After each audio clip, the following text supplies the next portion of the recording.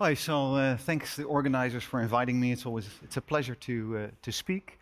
And uh, in the meantime, of course, I'm learning about a lot of new things for me. So uh, I'm enjoying also the other talks very much. I'll talk about an uh, experiment that we did, and um, let me start with uh, something that lots of you, everybody has probably seen, right? In the Feynman lectures of physics, you have this. Um, this wonderful picture of an electron source, a double slit, and of course probability is measured when one slit is closed and then of course when both are open. And he of course has these, these very well-known quotes that it's, uh, in reality it contains the only mystery. Um, at some point, an uh, undergraduate student, Roger Bach, contacted me and said he wanted to do some research in my lab and he wanted to see the double slit electron diffraction experiment. So I decided, okay, great, let's do it. I wanted to see it myself too. It's actually interesting. And uh, we then, after doing something like that, we uploaded a movie to YouTube, and the uh, outreach manager from the Perimeter Institute he, Damian Pope contacted us and wanted to shoot an educational movie, which they did at the time. So they came over, and it's uh, nice things with actors, and you know Stephen Hawking has a little comment, and it has been used by many high schools right now. So that's the reason why we did this. So it's not uh, part of our main research program. It's more outreach and education. Um, so this image we took. So one, we closed one image, and we closed the other one. You get this one. We opened both. You get this one. What we also did is we took little movies, so we added, you know, we changed the image, right? Not only did we do two, these two images, we added a mask here, adding to um, Feynman's, what is it, um, picture. And if you move that mask, so here is a mask, and underneath the double slit, and one opens, then you see a beam emerging on a two-dimensional detector. So you're looking into the beam coming towards you. As soon as the second slit opens, you see a diffraction pattern emerging. And as soon as then the other slit closes, then of course the diffraction pattern nicely disappears. So we're doing this, and it's kind of nice to do it. The other thing that you can do is record again the electrons one electron at a time, and you should pay attention. Here was the first one. I'm going to point that out. It's a little hard to see, but more will come in. This was done at a rate of one electron per second. The machine is a meter long. The electrons move at 10 to the 7 meters per second, so it takes about 10 minus 7 seconds for them to fly through there. And of course, we have to wait for a while, but it, we keep on recording, of course, here. Then we, I will speed up the display, but all of them took several hours to take. So it's, it's done that way. And then you see, of course, after a while that your interference pattern appears. And of course, this was done for that particular outreach movie. It's hopefully a nice movie. You can download this in from New Journal of Physics. It's uh, uh, additional material, so if you want to use it, it's just readily available. So the next thing it's nice to keep one of Feynman's quote there. We should show right away that you should not try to set up this experiment. This experiment has never been done in just this way. The trouble is the apparatus have to be made in an impossibly small scale to show the effects we're interested in. That might have been true at those time, but with the help of Simon Liou from our Condensed Matter physics group, you use uh, ion mills to make all this stuff. So it, it plays out at about 50 nanometer or 100 nanometer scale, and you just can do it nowadays. It's not that hard anymore. Um, I should also mention, of course, if you look at Wikipedia, you see this pattern. So everybody probably knows that, the kind of double slit experiment, that is how I refer to. Uh, what he actually did, of course, took a field emission tip with a biprism wire where the electron wavefront split in two. You put a positive charge in this, and so you make really a biprism interferometer and then record it. So he did actually not make a double slit like was done here by my grad student Roger Bach. So and of course, you know, Tonomura, of course, did inspire this because his idea is to, to record this one electron at a time is really a remarkable achievement, right? And we just took one step to, for the purpose of explaining this to high school students, the complication of having a biprism wire and explaining this is actually not something that the outreach manager wanted. They wanted an actual clean double slit with this experiment is, right? And I was fortunate enough to write a paper also with Tonomura, so I, he was actually very uh, encouraging about doing an experiment, an actual double slit. All right, good. So, so much about that one. And it's interesting though, if I, sometimes I give talks about this stuff, and remember this is where the first electron landed. So suppose I stop the experiment after that first electron, and I can do so because it comes about in one electron per second, so even manually you can sit there and wait for one that lands there and switch it off and record it. It's kind of fun to do. Um, if you do that, then I always like to ask my students the question, is uh, momentum conserved? So if you do this, this is your momentum before, this is momentum after, you have one particle detected, and they say, what's going on here?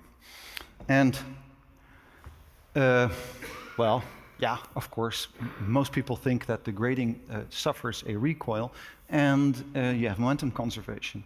Is that indeed what, what happens? Well, of course, Einstein wanted to use that in this famous Einstein-Bohr debate to actually figure out which way the particle went, right? We all know this, that if the particle went to the top slit. There was a recoil here. If you measure it, then without disturbing, right, you would know what is going on and still have interference, or the other way around could happen too. And of course, Bohr replied that you have an uncertainty on the position of the first slit. So if you try to do this with enough accuracy on your momentum, you cannot do it. You cannot figure out which way to go, right? We all know that. Um, of course, Bohr did not uh, retort that the slit and the particle did not exchange momentum. They do both say that you exchange momentum. And of course, Wootters and Zurek analyzed this. How much knowledge can you have and still have contrast? Also, they assume that you exchange momentum.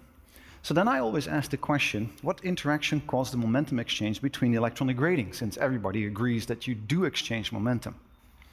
And it's funny because I give talks about this, in a different context, in physics colloquia, then these are the answers I get from professors in the audience, and I have a habit to writing them down, which I think I get great joy out of. So some say electrons reflect from the bar edges. Some say phonons are excited in the grating. Uh, and I'm allowed to say who that was. That was actually Manfred Fink at Texas Austin, because he doesn't mind if I tell people.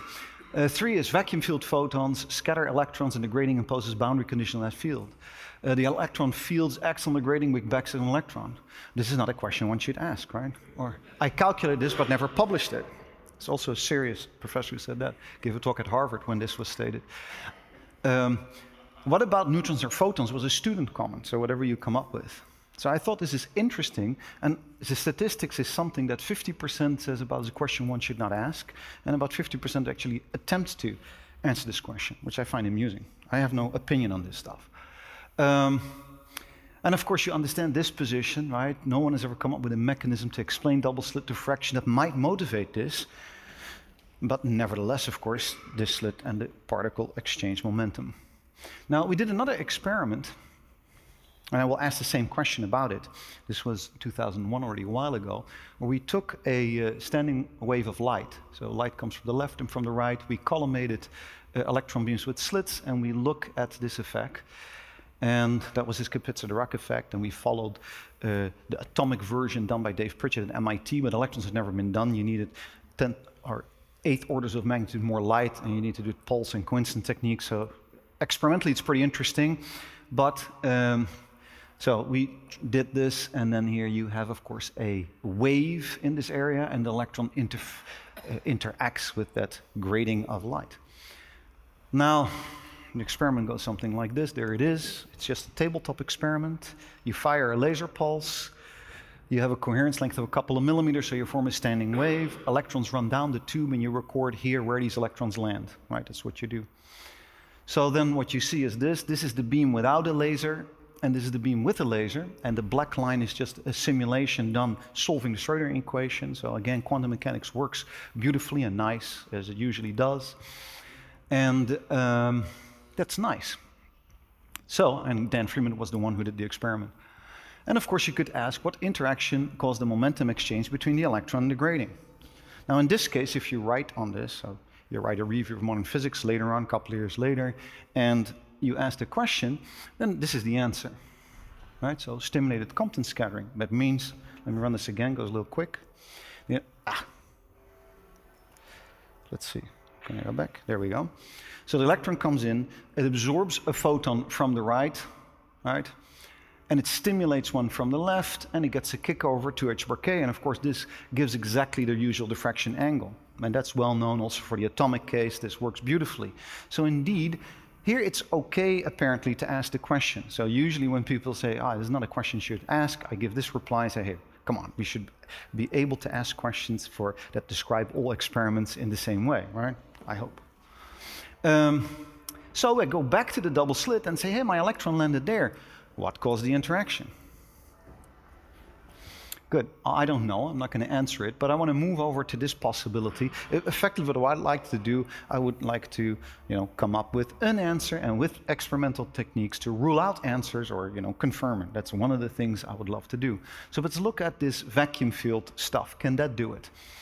Um, is it maybe a vacuum field effect where you have indeed some double slits, you have a vacuum field that, that, that you know, puts a boundary condition and the electron interacts in some way with that vacuum field and tells it where to go. Well, then I found in 2014 in this book by De La Peña and Cetto, and Cetto is an audience here, I found this, this interesting picture where here at the top is a double slit and here are trajectories for electrons uh, being modified by an electromagnetic vacuum field. And apparently that is capable to some extent to explain uh, bundles of trajectories. There's no picture there of an actual uh, distribution, so maybe they're still part of a work in progress, presumably. And uh, yeah, I started to, try to understand what's going on there because this is this theory of stochastic electrodynamics, which is uh, interesting, and I wanted to see what it can do and what it cannot do. So we did an uh, uh, a simple system. We took a toy system, a mass on a spring, and we bathed in a vacuum field. And then you have, you know, equations that you can solve analytically. And there was a prediction that you get nice the ground state, but I wanted to see what the trajectory was, so we did it numerically, so it becomes maybe a little bit visible. So something like this, right? A classical mechanical system, the particle moves back and forth as a function of time, moves back and forth, and this is your probability distribution, which we all know. Maxima at the turning points. And in this case, you get a quantum mechanical distribution or a stochastic or random electrodynamic distribution, which is the same as the quantum mechanical one, proven analytically in the 70s already. But what does the trajectory look like? Well, here's a trajectory. So this is a trajectory of an electron exposed to, to many vacuum modes, 100,000 or so that we need for this system to converge numerically. And then the dotted lines are the numerical results and the red lines are the quantum mechanical results. So it's kind of neat that indeed this, this a particle can there just shake back and forth in the vacuum field and give the quantum ground state. It's amusing. You have kind of a balance between absorption of energy from the vacuum field and re-radiation out of it because it's accelerating all the time. That's what happens in this theory. Um, now, I also wanted to say, well, okay, this theory to me was an uh, approximation. I want to export a validity range. And thus, because I did, I did not, uh, want to go along with the idea that it would do the same thing as quantum mechanics. So I just wanted to have a counter argument and say, okay, here it must be false. uh, and so I said, oh, you know what? If I take this harmonic oscillator, right, if I take this harmonic oscillator and put a pulse, an excitation pulse there, I probably don't get excited or things that look like excited states. That's, that's what I wanted to see. Well, we did this. So we did a uh, classical system. We give an excitation pulse you have no energy, and when the excitation pulse frequency is changed and you hit resonance, then you excite the system and nowhere else. If you do it with fully quantum mechanics, then you have the blue dotted line, you get a peak here, and of course you get your excitation to higher excited states. If you do it with uh, stochastic electrodynamics, so you have this classical harmonic oscillator in a vacuum field and you give an excitation pulse, classical excitation pulse, then you get this excitation spectrum. So you are in the ground state as we expected because that was already shown analytically before and we showed what type of trajectories you have. But as soon as you give the excitation pulse, you get a nice resonance excitation, but also your first overtone and your second overtone. And you find quite good agreement, which at the time I said, what, this is crazy, this is quantization somehow coming out. I don't think that's what it is. It's kind of a parametric uh, excitation of a system. It's a classical phenomenon, and it's totally fine. It can happen this way. So anyway, uh, but at that time at least, I we were capable of of figuring out something about which vacuum modes you need for this toy system. And for, of course, double slit diffraction, and we're trying to move on, I'm not there yet, uh, to figure out how in that system you should describe vacuum field modes an electron can interact with. So to test, at least, uh, can maybe double slit diffraction be explained by interacting with a vacuum field? Or is that a way to think about it? Right? Maybe it's not an explanation, maybe it's just a way to think about it. So you can do more. This is not the, other stuff is published. This is not published. So just we were uh, Wayne Huang, the grad student who worked with me, uh, was playing with this, and um, we've also found that you can do coherent states. So here's a quantum mechanical simulation of a coherent state. Here is the uh, phase space picture, and there is the the other picture. This is the stochastic electrodynamics picture. It works quite nicely, and then you can do squeezed vacuum states. Uh, this is just, we didn't do any real quantitative measure. This is just at the level of qualitative agreement, so you can do that type of stuff. Uh, you can do, you know, a uh, with third order excitation. You can make even, you know, some other behavior that is quite similar. So all these things apparently fairly map onto each other. And I, of course, when I teach quantum mechanics for grad students, then I often say, "Oh, these are really very quantum mechanical states," and I maybe have to take my uh, claims back. Yes.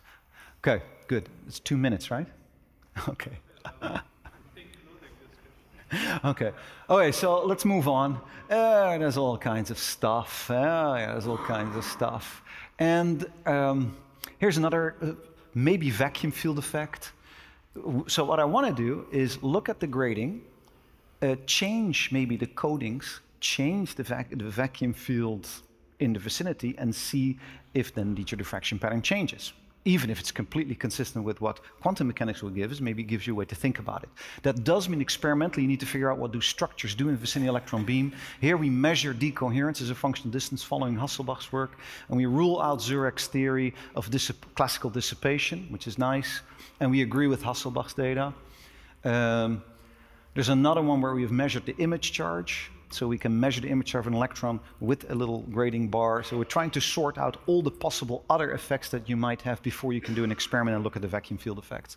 And um, so I'm going to just skip to the end because then there's questions. Let me thank Roger Bach for the double slit experiments, Wayne Huang for the simulation RAD, and Peter for the decoherence experiments and all the discussions we'll have with other people. That's it.